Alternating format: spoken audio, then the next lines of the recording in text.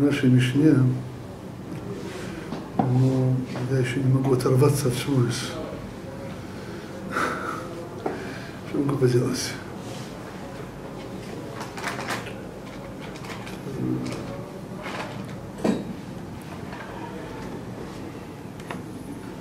Есть у нас в конце Шират Шахарит, вот появились так называемые шесть схерот, шесть, шесть напоминаний. Вот тут есть шесть напоминаний. Вот одна из них – это Схират Маммад Гарсинай. Мы помнили то, что нам дал Всевышний Тору на горе.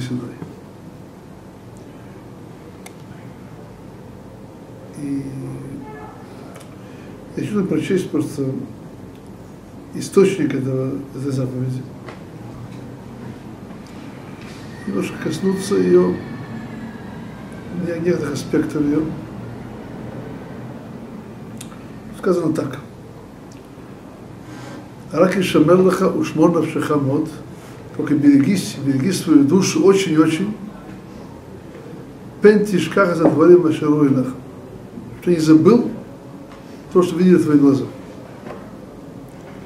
У Пен Ясура Миловха Коля Мехаеха, чтобы не отошлись, как бы, ну, не, не отошли от твоего сердца, это, это все, всех город твоей жизни. Водатум левонеха левне ивонеха. И сообщил это своим детям и, и, и детям детей. Что сообщить? יום אשר אמרת לפני אדוני אלוהיך בחורב, באמור אדוני אלי, אכן לסם הזה, ואשר דבריי שבלי ראוי סיכולים שהכי לבאז מנלמד. День, когда ты стоял перед, перед Всевышним на горе Хорев, когда сказал Всевышний, Всевышний Моше, собери все, весь, весь народ, и, и, и поведаю я ведь слова, которые я когда будут, изучать, бояться меня, в смысле Всевышнего, все они, которые живут, на земле, и, и обучат своих детей. То есть есть у нас заповедь побыть каждый день очень на горе. Есть такой обычай, он не обязательный. Читать шесть схерот каждый день после шахрит. Но по большому счету, эта заповедь, мы исполняем ее, если помним об этом, конечно. Она упоминается еще в двух местах. Берката Тора и Берката Хавараба или Финусах Хасиди, Берката Хават в Беркат Тора мы говорим утром ברוכתה השם אלוקינו מלך העולם אשר בוחר בנו מכל העמים, כתוב יסבר לספיח народов, слава Торуту, и дан то. Вот тут надо вспомнить, получить то на горе Синай, об этом здесь говорится. Мы тут благодарим Всевышнего, что нас избрал всех народов, и дал нам свой Тору. Тут, кстати говоря, еще мы уже коснулись этого, такое интересное сочетание. Начинаем браху в прошедшем, прошедшем времени. Натан нам Тору, дал нам свою Тору. Как мы кончаем. Барух Ата Ашем Лойся на то. Всевышний, что это дает, нам Тору, сейчас, постоянно. Это требует, требует объяснения. Что это требует объяснения. И второе место, где напоминаем, это наши распорядки дня. Это Браха Хаварабу.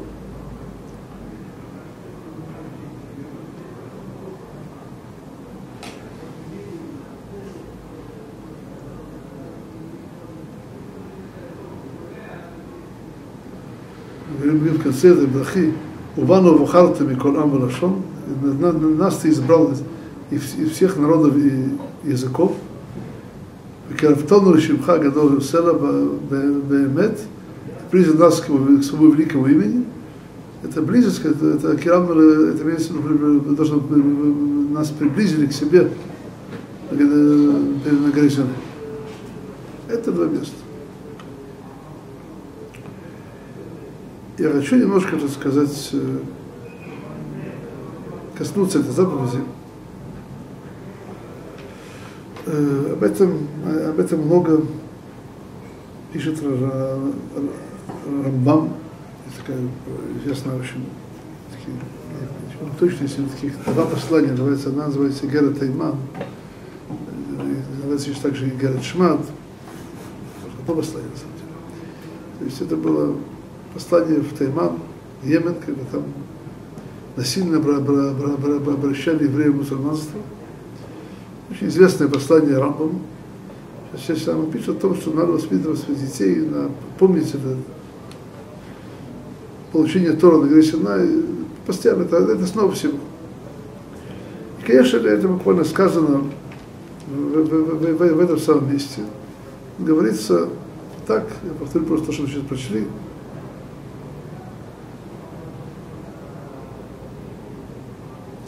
Сказано, чтобы не забыли, не, не, не, не убрали свое сердце и поведали нашим детям.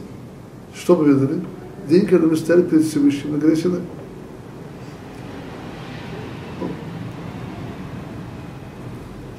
По большому счету, да, то есть это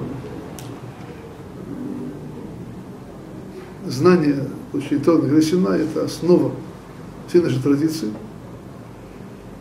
Это основа, есть, на этом основано все. Я хочу коснуться из некоторых аспектов. Аспектов. Как это память получить то на Синай, как нам побудить в себе эту память. Мы все там были. И как нам ее нести дальше от Швойс в будущее дни. Будущее. И тут есть... Э, и сейчас я хочу этот вопрос не забыть, я хочу потом коснуться второй части. Есть вот одна часть, касается нас самих. Каждого самого. Есть вторая часть, как нести это дальше. Нашим детям, нашим прадедам, прадедам и так далее нашим внукам, не прадедам, детям и внукам.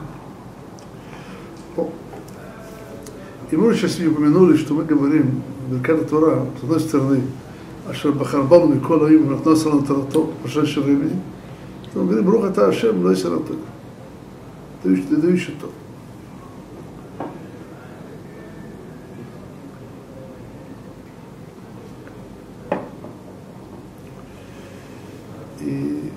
коснусь еще, еще один вопрос, который меня занимал немало лет, немало лет, пока года Всевышнего найти, найти на него то объяснение, которое хорошо ложилось в моем сердце. Я, я вопрос немножко поставлю. Вот, э,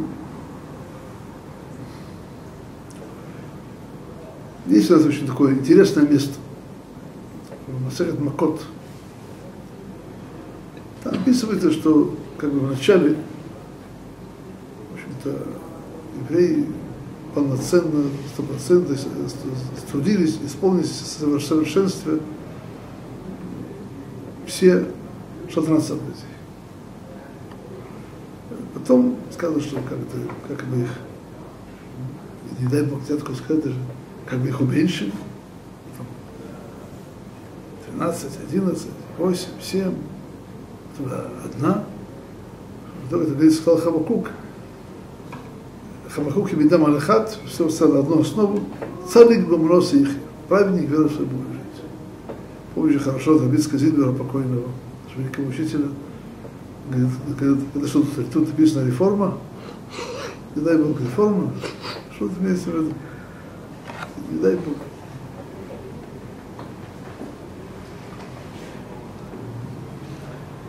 Давайте уже немножко объясню. В двух словах.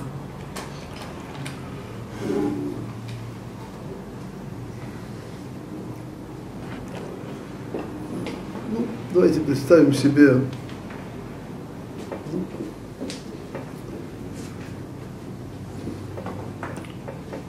очень, ну, допустим, типичную картину для нашего поколения. Это какой-то очень сложный, очень пазл.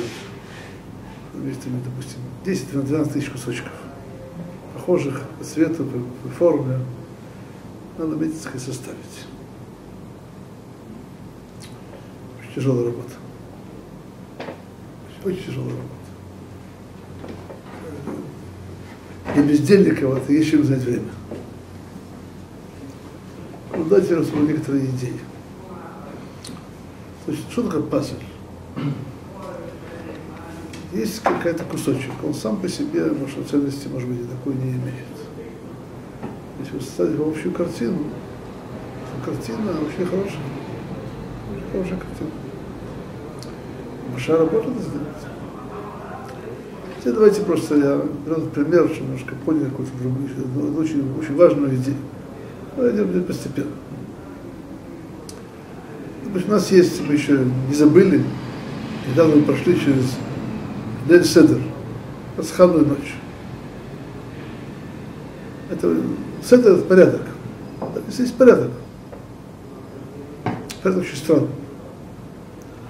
То есть мы немножко вдумываемся вообще, что такое пасхальный порядок, видим там, как связаны друг с другом много-много разных митцвот. Давайте представить, что такое пасхальный седер, так он был по закону Тора, который сейчас был карбан, пасхальная жертва, у нас еще была.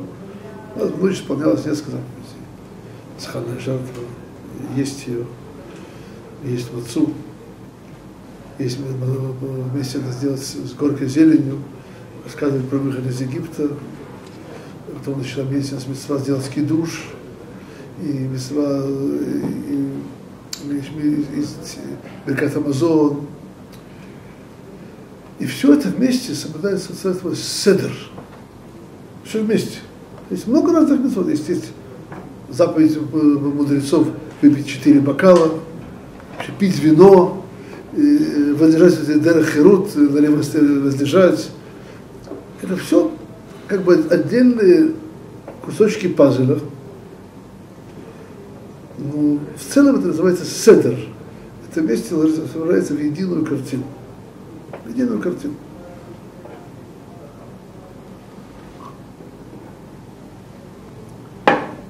Безусловно, даже как в пазле, может быть, какой-то большой кусочек, он тоже имеет смысл сам по себе, потому что оно красивое на этом кусочке. Точно так же тут есть отдельный кусочек, каждый имеет со смыслом сам по себе. Даже Вельседер, он поел мацу, но больше еще не исполнил, он уже исполнил душа, не исполнил. То же самое сказал сыну, выход из Египта, тоже у него нет ни вина, ни мацы, ничего. Тоже исполнил заповедь Тора, большое дело. Но, конечно, если немножко вдуматься, то эти вещи все связаны друг с другом. И эта связь, это не просто связь, это, это совершенно другое качество, когда это находится все вместе. Другое качество. И давайте просто вещи поймем. Немножко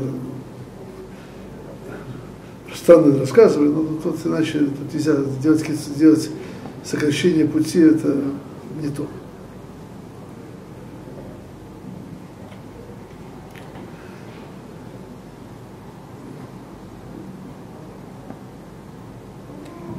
Есть известный еще Мидраш, это объясняет, почему Всевышний нам не открыл, не открыл в Торе вознаграждение за, за заповедь. Еще такая интересная притча по этому поводу. Как царь велел своему садовнику сделать э, красивый сад. Это тут, это там, сколько того, сколько этого, четко голова. пожалуйста. Потом каждую, каждую сказать, посадку дал ему зарплату. Вызвавшему вещи, которые, которые недорогие, были отдельные посадки, которые стоили, оплачены были как огромными деньгами. Появился домник царя. Почему мне сказал, я, я бы, я знал эти цены, я бы много-много дорогого посадил бы. Почему это не такое сначала? Но, я бы сказал так, на нашем языке, но сам бы потерял бы гармонию. Было не то. Было бы не то. Уже говорю, то есть целостность тут в гармонии. Короче говоря, когда мы исполняем Тору в гармонии, когда каждая часть ее находится в связи, подобающей со всеми остальными. Она, каждая часть имеет силу сама по себе. Но в целом это есть цельная картина. Цельная картина. Каждая мецва, она имеет свой вес, свое место и так далее. Она имеет силу сама по себе когда находится в гармонии со всеми остальными частями, это, это идиш энандерзах, это все другая вещь. Другая картина совершенно.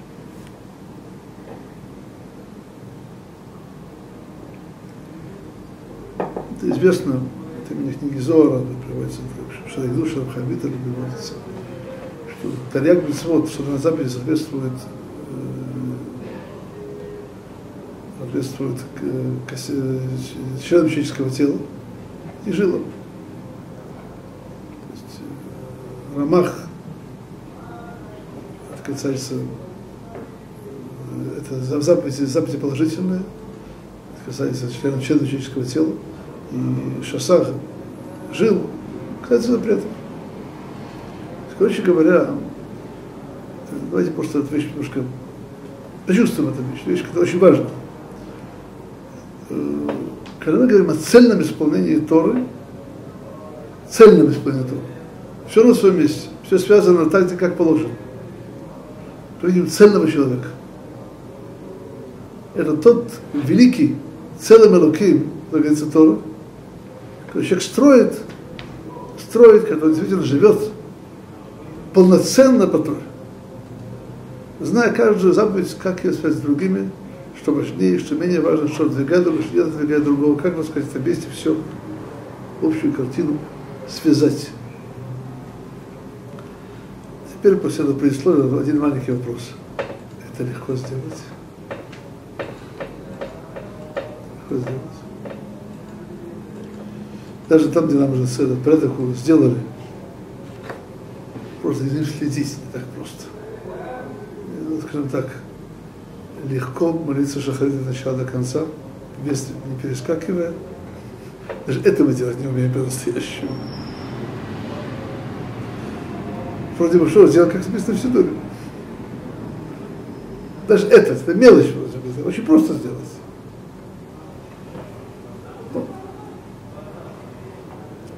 И это та великая картина, когда человек исполняет Тору целиком, со всеми деталями по Аллахе, когда нужно, он делает более, так сказать, строго, когда не нужно, он делает менее строго, так как в этом воля Творца.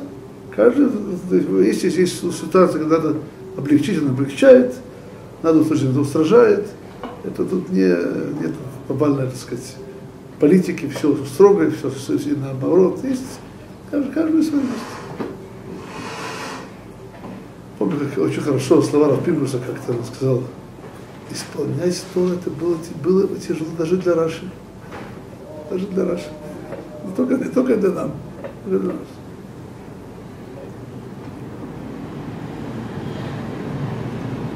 Это объяснение в двух словах. Это, это Гмары, Масахет, Макот. Что, конечно, мы обязаны все заповеди. Но взять на себя бремя стопроцентного соблюдания всего вместе, в полноценной гармонии, это не всем по силам. Это надо знать полностью всю Тору. знать каждую митцву, когда она должна быть, так сказать. То есть тут, знать весь шанс, все плоские. И уметь, как эти вещи управляются, так сказать, в жизни каждый деталь. Но это, это, потом, это подобает Вильнинскому гону, и знаю, что подобное, так сказать, с Хаем, это, там где-то находится. Но при этом, при всем при этом, нас Всевышний не освободил ни одной заповеди. Как же он сказать, дать нам какой-то путь, путь. Давайте просто я придумал, так сказать, некрасивый пример. Если человек в гармонии, он здоров, полон энергии. А что такое человек не в гармонии? Руки отдельно, ноги отдельно, голова отдельно. Все, так сказать, без связи. Называется куча костей. Некрасивый пример, но, так сказать, надо просто понять, так сказать, эту вещь. Мы хотим жить в Торе в гармонии. Это, это по-настоящему, это картина человека Худратор. Это не так просто, так когда. Это тема этой, это, это вот суги, всяких макот. Какие нам дали мудрецы правила, на каких основах строить нашу жизнь по Торе, чтобы быть, не потерять эту гармонию. Я рассказал, конечное, это, что касается последних поколений, у нас основа все должна быть цадик бумунуса бумунуса их Основа всего жить с верой, вера своя, буквально по-русски, праведник вера своя будет жить, эта вера, она даст ему богобоязненность, эта вера даст ему обязанность изучать Тору и законы, стараться всеми силами ее исполнить. Но основа всего это садик бамоноса их. Это в двух словах я объясню просто на, на пальцах. Стержень этой темы в Масакат Макот. Не давайте подробности. Так я это понимаю. О. Сейчас перейду к вопросу, который меня мучил несколько лет. Вот серьезно. Основа всей Торы. Это вера.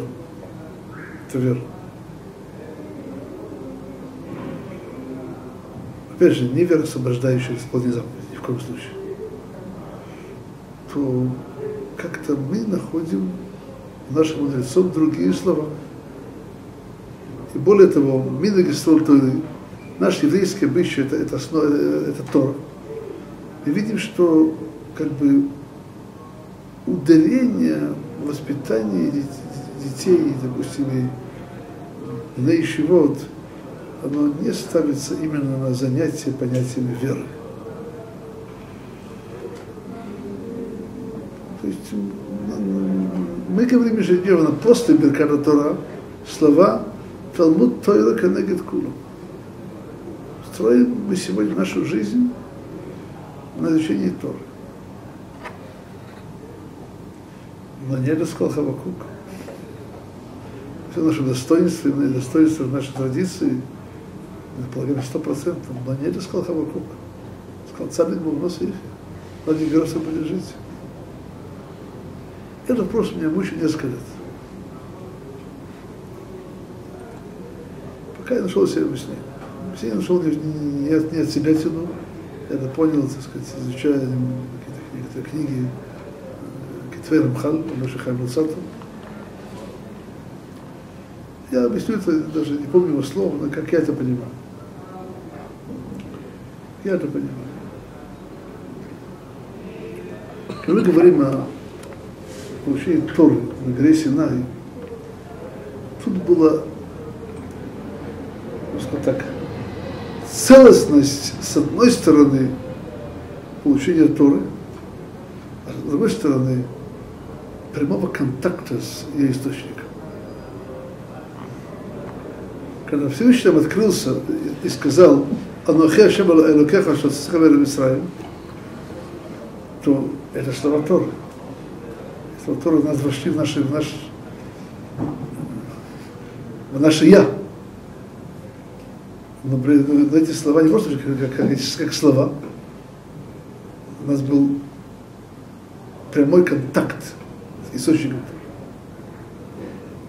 То есть то, что говорит книга Зоар, очень известные слова Куча Бриху, Райса Висоль Хад, Всевышний, Тора и Соль едины, это единство было, так сказать, совершенным на горе.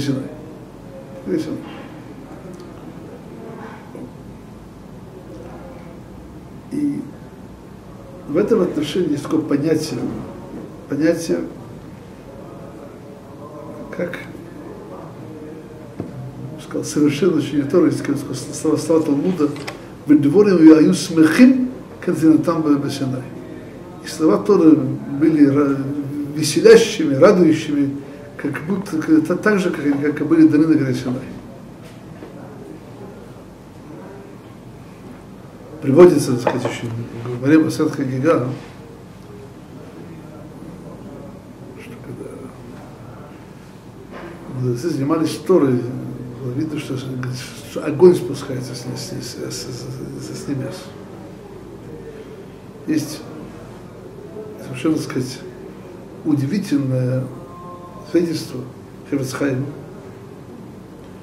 Хевецхайм получил, был еще юношей, получил Тору. Был такой большой очень человек, жил в городе Гродно.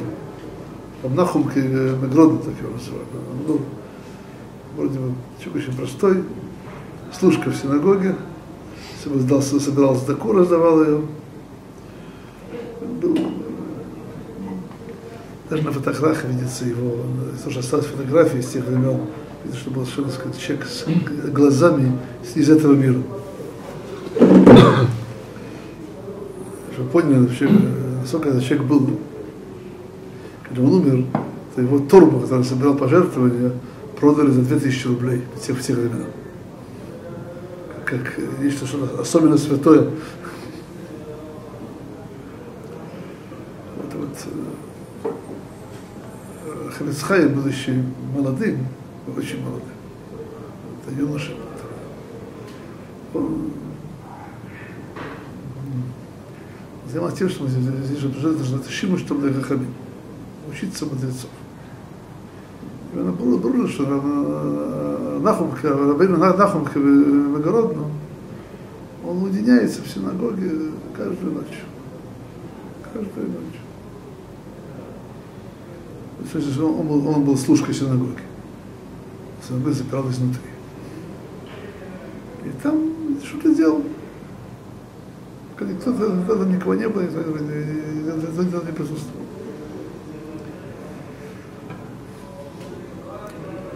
Он решил, сказать, проверить, что он делает. Что делать молодых и молодых и заранее прячется в синагоге, вот какие-то скамейки, где, так сказать, в этом искать не будут. И ждет, ждет.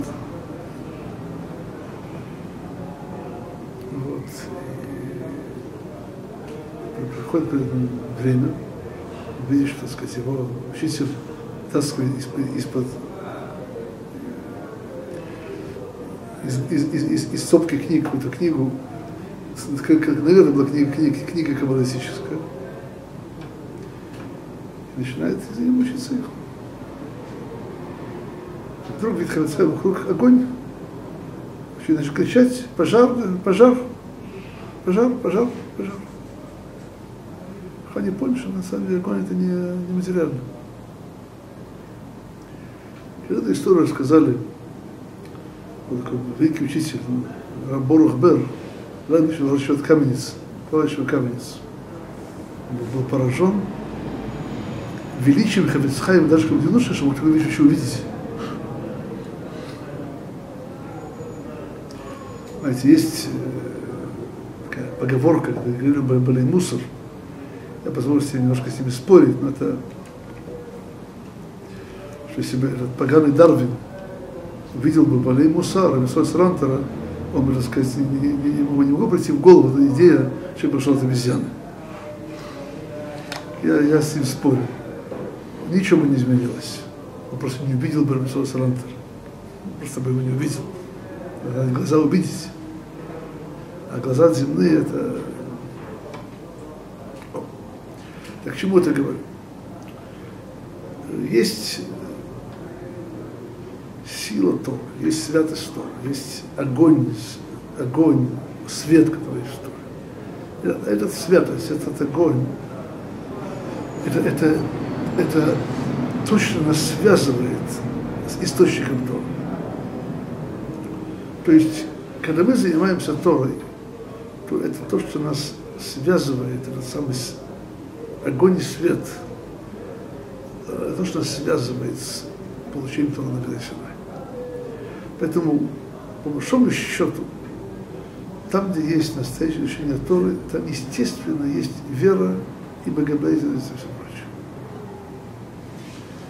И это для меня очень простое объяснение, почему действительно, хотя бы с одной стороны сказал Хавакук, цадик умрос Ихе, цадик своя вера будет выжить, а с другой стороны, мы говорим Талмуд Тора книгат Кулам.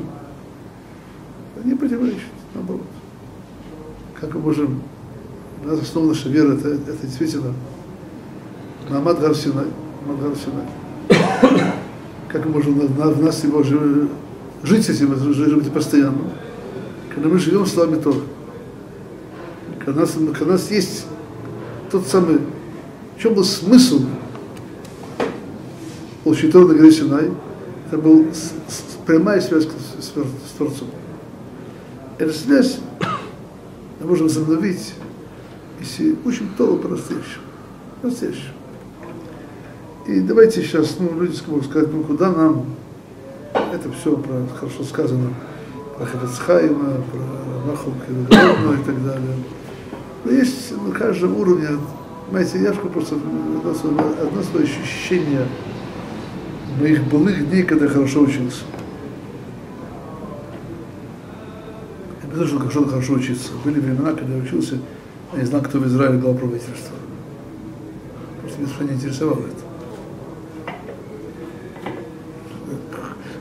какое-то беззащитное.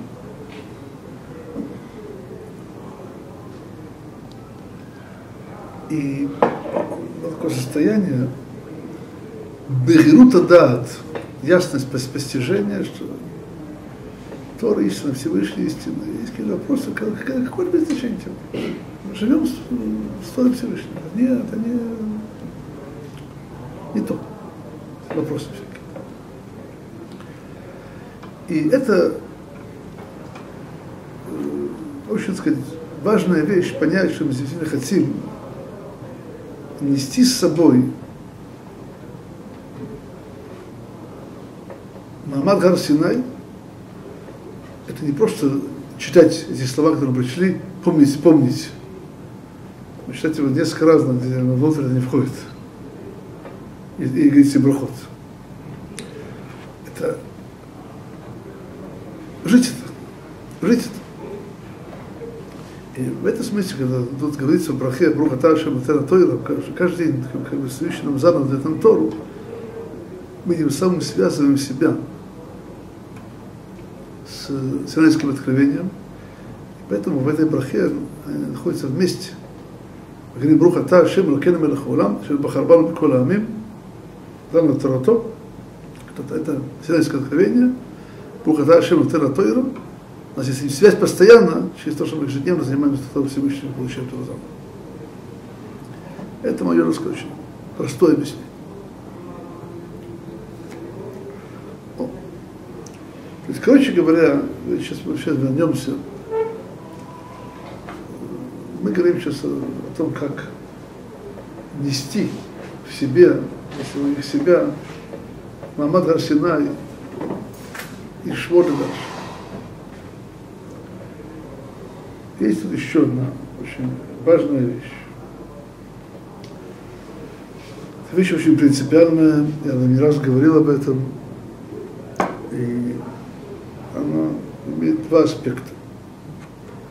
Ну, скажем так, есть люди, которые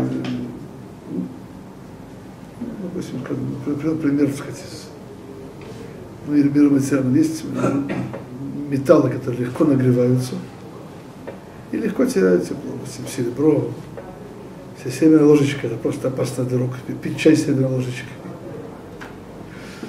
Медь есть вещи более-менее, более теплоемкие.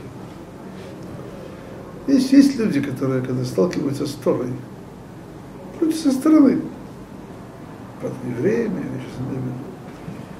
они могут, скажем несколько, несколько слов Торы, и просыпаются, сейчас бежим все соблюдать, исполнять, завтра проснется, все забыто. Если наоборот, ну, только есть еврейская жестоковыйность, когда что-то войдет, трудно войдет. Но если же вошло, то вошло уже напрочь. Есть тут одна очень принципиальная, принципиальная вещь. Она касается лично многих из нас, может всех, наверное, как сделать наше постижение, понимаете, есть у человека его большие достойные дни, когда он много постигает, много чувствует, и вера в нем живет, и, и, и благовестие в нем живет, и Тора хорошо идет. Как это сделать, чтобы это стало таким стержнем жизни, который вообще нельзя было сдвинуть? Даже когда не так хорошо идет, и ощущения не такие ясные, как это ставить? Ну, чтобы действительно было как счастью его я неотделимый, неотделимый. Это первое. Второй вопрос, часто еще более тяжелый. Но человек должен видеть свою жизнь, сказать, в исторической перспективе. Что еще мне сейчас будет? Есть великая цепочка. Цепочка, как поколение Синайского откровения Тора передавалось до начала нашей вот, Маша Кибель Трама Синай, Мисала Иешуа. Есть цепочка передачи Торы от учителя к ученику, от папы и мамы своим детям. И это, это великая цепочка, ради которой был создан весь мир, ради которой вообще нас Всевышний был, нас избрал, чтобы Тора была передана и, и открылась в мире – то, что, то, что наши мудрецы, есть в Шма две большие буквы, Айн и Далит, Айн Шма и Далит Хад. Как в случае говорит, что Атем и Дай, вы быть свидетелем. Мы избраны быть свидетелями Творца. Кстати, нас лично, наших детей, наших внуков. Есть важнейшая проблема, важнейшая проблема, чтобы наше постижение Торы. То, что мы удостоились, мы это сумели передать своим детям. И детям, и внукам, и правнукам. И если мы сейчас открыли это место, где говорится о памяти о Синайском откровении, говорится о, о передаче его дальше. Счастье заповедь не просто жить самому, а передаться дальше.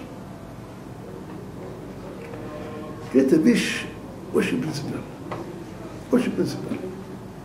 Потому что, знаете, что скажем так, я уже не раз говорил об этом в разных, так сказать, аудиториях. Надо нам хорошо подумать, чтобы наш возврат к Торе не, не был, не дай Бог, мимолетным эпизодом. И в общем, тут есть два аспекта. Эпизодом личной своей жизни. И, и даже если в личной жизни это он пустил корни, но, но, но для его следующих поколений, ну, дедушка был нерелигиозным, папа сошел с ума, а мы будем как дедушка. Понимаете меня? То есть есть вещь очень принципиальная. Нам надо самим укорениться в наших источниках, естественным чтобы было вещь естественная, понимаете, вещь действительно естественная, просто правильно пустить корни. и чтобы эти корни мы сумели передать нашим детям. Нашим детям. И тут, безусловно, по большому счету, чем больше мы лучше мы укореняем самих себя, и, и, и эти корни, как мы себя укореняем правильно, хорошо, они открываются нашим детям, это причина, чтобы и они укоренились. Я вам приведу просто один маленький аспект, о котором мы уже говорили, и мне кажется, просто он важный. Ну, мы говорили на прошлом уроке. Что суть, вообще-то говоря, то, что мы приняли на себя Тору, не зная, что мы приняли себя, так сказать, целостность, послушания.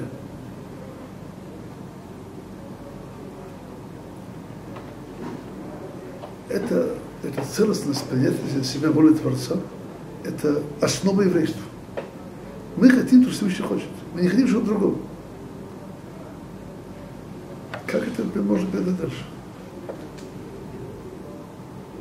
Это вещь, знаете, это вещь, это основа всего.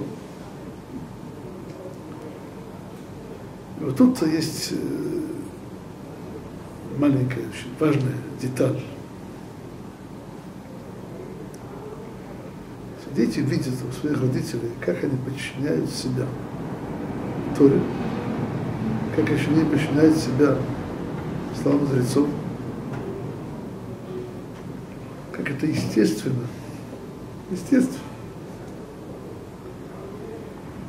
Это, это не воспринимают, понимаете, давайте просто очень хорошо поймем. Мы, мы когда не раз о понятие «щиму что дехахаме». Что это означает? Что ученик учится у жизни своего учителя. У жизни. Не словам, а у жизни. Это маленькая проблема. Наши дети учатся от нас, нашей жизни, еще до того, как вы стали от Хахамим. Понимаете проблему? Так вот. Ну, конечно, кто-то неправильно услышит, но это причина, чтобы мы стали от Хахамим. На что, что у нас видят наши дети. Люди были учителям, мы говорили лет 30 тому назад, нам надо думать, что наши внуки, было в нас что, что, на, что, на что смотреть. Так просто. Есть, есть тут некоторый минимум. Я понимаю, не каждый становится большим раввином, большим комтором, большим праведником чтобы дети действительно, внуки видеть, так сказать, понимаешь, что когда ушел из жизни Ротенса Финкель, то его детям и так далее, и внукам есть что рассказать про своего деда, деда, то, что они видели и так далее. Я сейчас не буду говорить о великих людях, я просто о, называется о простом еврее, простом еврее, что дано каждому из нас. Не так просто быть просто евреем, между прочим. Не так просто очень заумные, закрученные. В этом сказано, когда Бог барает Адам Яшар, создал Всевышний человека прямым, они пустили себя многие счеты, начали строить. Поэтому не так просто быть простым евреем. Ну, можно. Когда ребенок видит с детства, как цельно, в смысле веры и послушания, и принятия себя Торы живут его родители – в него входит. Это входит. Это, это его шимушту хахамим. В этой сфере каждый еврей должен быть как Талмит Хахам в этой сфере. Тут нет выбора. Иначе мы, у нас, мы не можем передать им эти, если, если ребенок у нас не видит послушания Торы, откуда этому научится?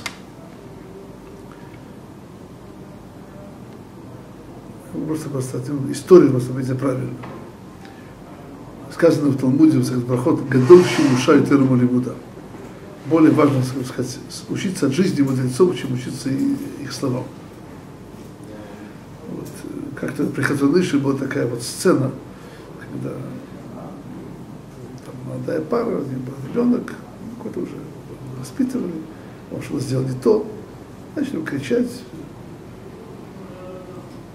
какие-то очень правильные слова, но, но не очень, так сказать, правильно кричать. Кричать очень правильные слова, но Брат сказал Хадыш так. Что ребенок видит? Видит, что папа и мама сердятся. Что он слышит? Какие-то слова. То есть то, что видит, это чему что он хахамим. Он учит от жизни. То, что он слова слышит, это, это, это то. Это ощущение то. Что больше, что важнее. То, что человек учит всю жизнь. Так что он усваивает от папы и мамы? Что можно кричать и сердиться. Что не говорят это.